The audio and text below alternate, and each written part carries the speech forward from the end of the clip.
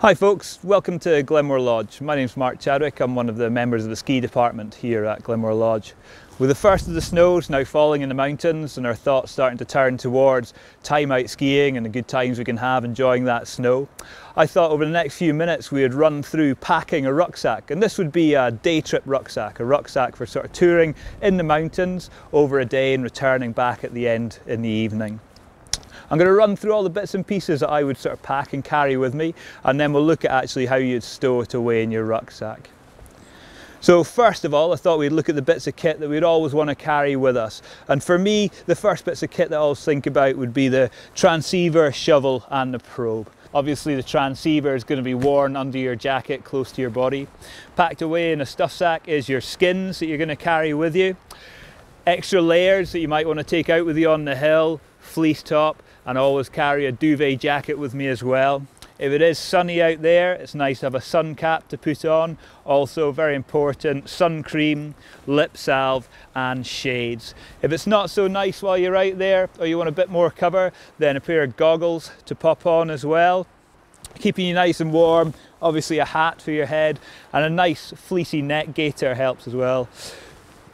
Having a glove system helps, thin pair of gloves, medium weight pair of gloves and a thick pair of gloves for the cold conditions.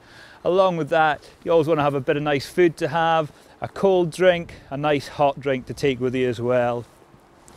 Head torch for if it gets dark too quickly, camera to capture all those good occasions, a watch to help you navigate and keep track of the time, along with the navigation, GPS, compass and map and then as a group kit, I would always carry first aid kit, ski repair kit and a group shelter and also a phone for any emergencies.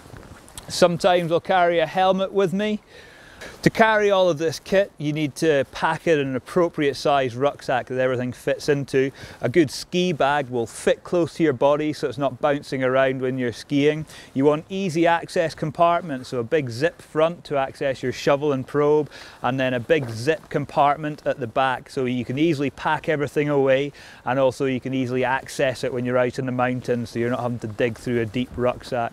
Along with that, having a system on your bag that allows you to carry skis on it, either on the side or a strapping system that you can carry them across the front body of your rucksack is really important. You may have noticed this extra pile of kit over on this side of the table. To hear about why to carry this stuff and when to carry it, if you follow the link to the second in the series of these film clips, you'll hear all about it then. Hopefully this will help you to have remembered all the key bits and pieces of equipment that you want to carry with you when you're out and about in the mountains and that'll allow you to enjoy it in those days when the snow's fallen, there's perfect cover over the hilltops and you're out there having a fantastic day in the mountains.